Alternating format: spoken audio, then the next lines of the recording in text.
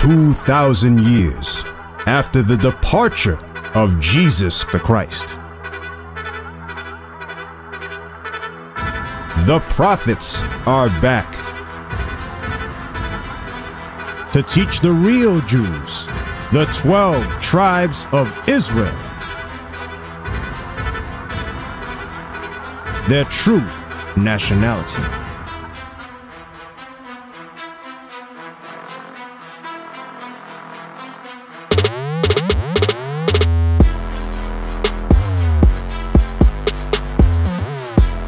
This is their campaign.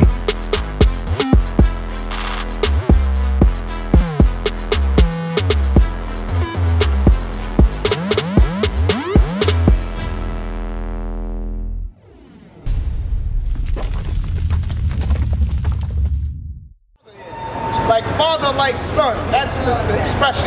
You understand? Okay, so can I say something? Yes, sir. Hold on, stay here. Yes. So It was kind of slow at first. on the passage from Africa to the New World, you were the rebellious slaves, and they were having sex with some of the slaves. Uh-huh. Second time And they came to know the black gene is strong and dominant anyway. So when these black women were having babies by white men, they were coming out looking like us. Not as dark, but a little bit lighter. Absolutely. And they were getting sold Fry into fry it, fry slavery. it, fry. And that happens a lot. It's very common. Right? Now what you're saying is all of those, all that whole bloodline from whoever was raped. And you, my brother, your eyes are kind of light. So that means that you're white. Okay. Right? I'm gonna tell y'all something. According to what you're talking about, your complexion, your eye color, Okay, what I'm about to ask. then you're white. Okay, good, good, good. Now, No, there is no, he there doesn't trust me. No, I don't. But I'm just talking about what I see. I'll explain myself. Yeah, I want to. Okay. My grand, my father, he came around here a couple of times. He's as black as night. Listening? Blacker than everybody over here, right? His father, black as night. My mother's light skinned, understand? Her mother is Native American, but I don't know, co- co- looks very Caucasian. I'm not disputing that. That does not make my mother white. That's the mother's side. You understand? The problem with him is this. He loves the white man. No, I don't. That's the issue. I, am down with you. So let's read this. No. Yep. Third, third. Chapter, excuse me, Deuteronomy chapter 28, verse 30. Thou shalt betroth a wife, and another man shall lie with her. You heard that? It says, Thou shalt have a wife, but then in captivity, another man will lie with her. What he's saying is actually true. That's prophetic. The slave master definitely did take the women. Not all of them, but we have been taught that if you're light skinned, right, that you're white. Now listen to what this brother just said earlier. No, he said the black woman can produce what? Any kind of any seed.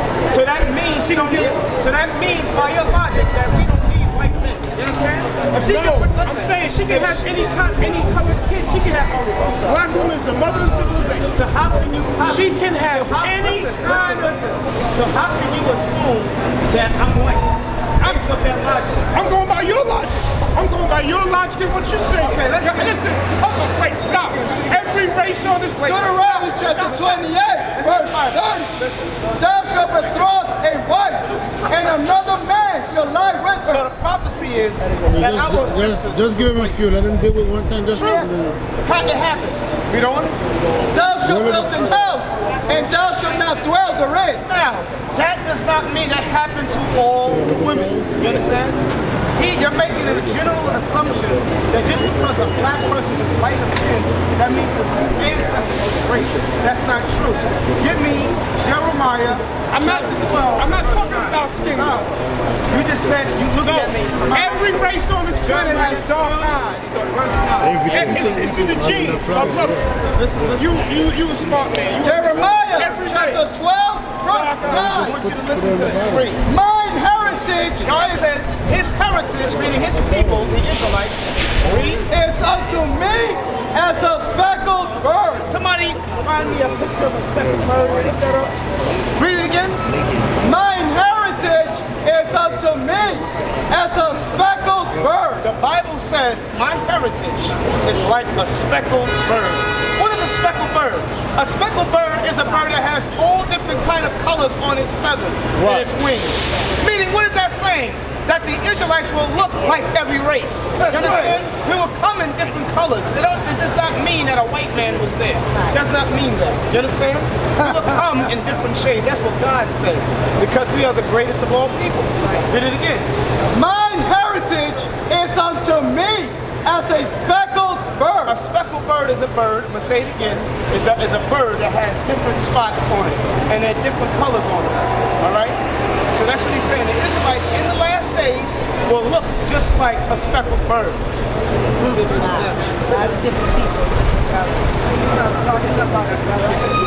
What, what's heavy, what the brother is saying is heavy information. You know what's different about the Israelite movement? This is God's movement. That's the right. Black Panthers in the 1960s, the Lord used them to help the community. The uh, Brown Berets, Mexicans, the Lord used them to help the people. The, uh, what was the, uh, Young Lords, Puerto Ricans, the Lord used them and they had their time. This is a different movement because this is backed by the Most High God. Yes, sir. We're just vessels. All we are are the vessels. Listen, get that. Give me Matthew. Matthew chapter 4, verse 17. Why do we come out here? We come out here because our people are strung out on drugs, sin, prostitution, broken homes. You understand? Most black families are broken. Most. Latinos as well, broken. Native Americans, broken. Listen, this is the answer that Christ said. Read. Matthew chapter 4 and verse 17. From that time, Jesus began to preach and to say, Repent! What did he say? Repent! What did he say? Repent! What did he say? Repent! Did he tell us to be a Jehovah Witness? Did he tell us to be a Pentecostal? Did Christ tell us to be a Mormon? Baptist? No! Christ said what? Repent! Meaning change. Right. Change. Change. Why? Black people need change. Hispanic people need change. But who's gonna do it? You have to do it. You have to do it. If you are a married woman committing adultery, you are worthy of death by the Most High God. You have to repent. A black man committing adultery, you are worthy of death. So this movement isn't about color, it's about redeeming Jacob. That's you. That's you. That's you. Read it again. Jesus began to preach and to say, Repent! So what we're teaching is repentance. Is repentance meaning how do you change your life? When you see the Israelites, the first thing that you're gonna think of, those are the brothers that teach repentance. No longer are you gonna see us and say, oh, those are the brothers who just teach the white man's the devil. It's larger than that. It is larger than that. You're gonna say those are the brothers who teach how to raise a family. They show with scripture. Read it again.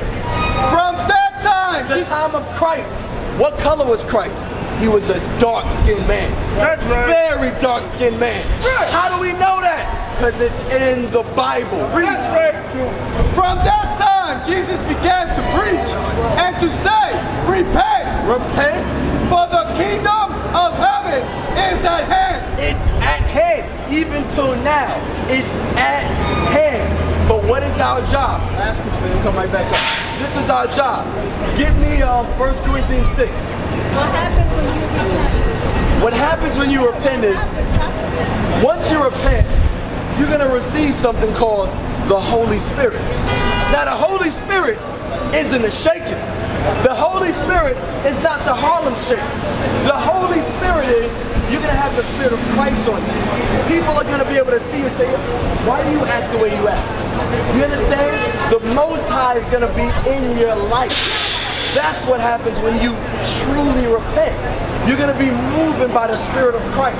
And you'll understand what the Bible means when it says, and the Holy Ghost came upon them. You understand? There's a certain spirit when you keep, there's a spirit behind keeping God's laws. Read this. Six and nine. 1 Corinthians chapter 6, verse 9. Know ye not? Don't you know, Paul said, that the unrighteous shall not inherit the kingdom of God? The unrighteous are not going to inherit the kingdom of God. Come on. Be not deceived. Don't be tricked. Why? Because churches trick you. Churches teach you that, listen, just believe on Jesus. God is in your heart. Give a little money. Give a little money. That's what it's all about.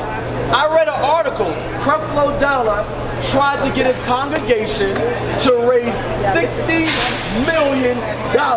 And he almost did it. But he stopped because of the backlash behind it. You understand? So you know what we gotta do? We gotta think on that level.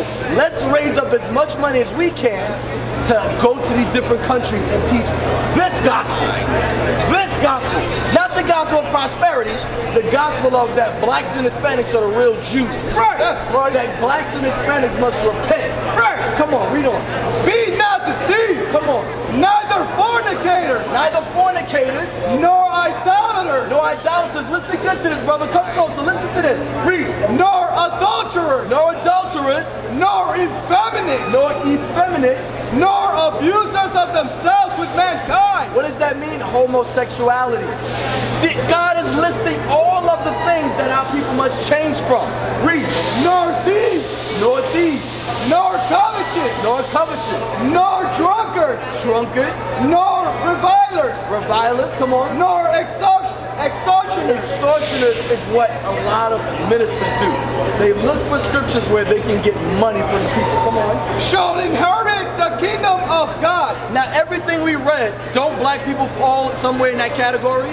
Whether it's about getting money, whether it's homosexuality, whether it's lesbianism, whether it's a thief, whether it's a liar, the Bible says all these things, if you're doing it, you're not going to get the kingdom.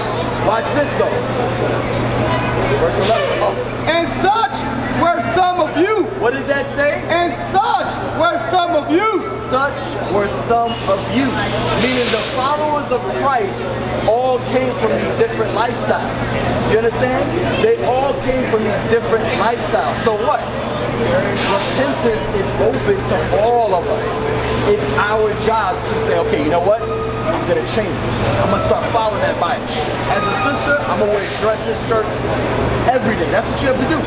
Dresses, skirts every day. Just real quick. Read that, read that last part. What? And were some of you. And such were some of you. So do you understand that?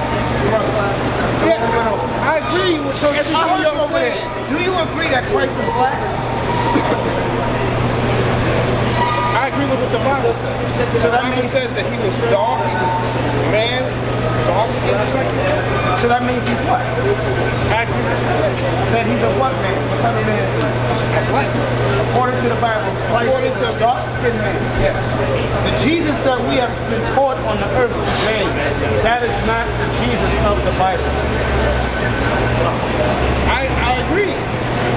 Don't waste time on me because I agree with 90% of what you're saying. Now, because I heard you I, over there. I, I don't want to fight. I don't want to fight. Don't waste time on me. I agree with I agree. 90% of what you're saying. Hey. Your message is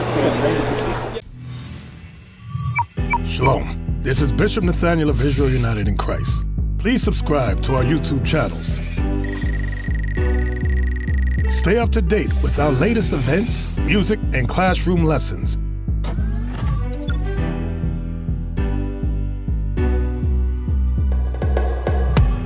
IUIC plans to continue visiting different countries where this gospel has not been preached before. IUIC needs your help in pushing this truth.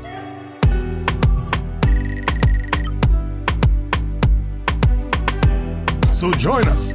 Subscribe to our Instagram, Facebook, Twitter, and podcast and stay up to date with us.